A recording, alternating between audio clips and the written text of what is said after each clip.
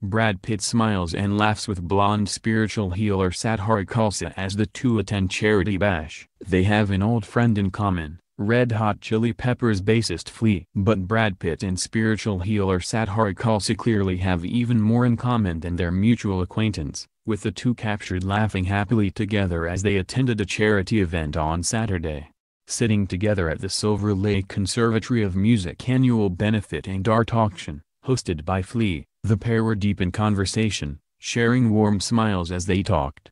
The 54-year-old actor and the spiritual healer, jewelry designer sat at the same table for the annual benefit and art auction. It is safe to say the pair will have most likely met before. Brad is a close friend of Flea's, while Sat is a former tour holistic nurse for HCP. Sat's jewelry has also previously been worn by Brad's ex-wife, Jennifer Aniston. The duo sat beside each other at the event, chatting the whole time, according to witnesses. However, other sources claim the two are not dating, and were not at the event together. Also at the event were Chili Peppers frontman Anthony Kiedis and Rashida Jones, while Marc Maron emceed, and Lindsey Buckingham and k.d. lang performed.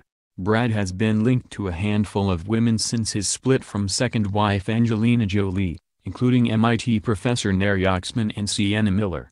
He is currently embroiled in a custody battle with Angelina over their six children. Work-wise he is filming Quentin Tarantino's Once Upon a Time in Hollywood, opposite Leonardo DiCaprio.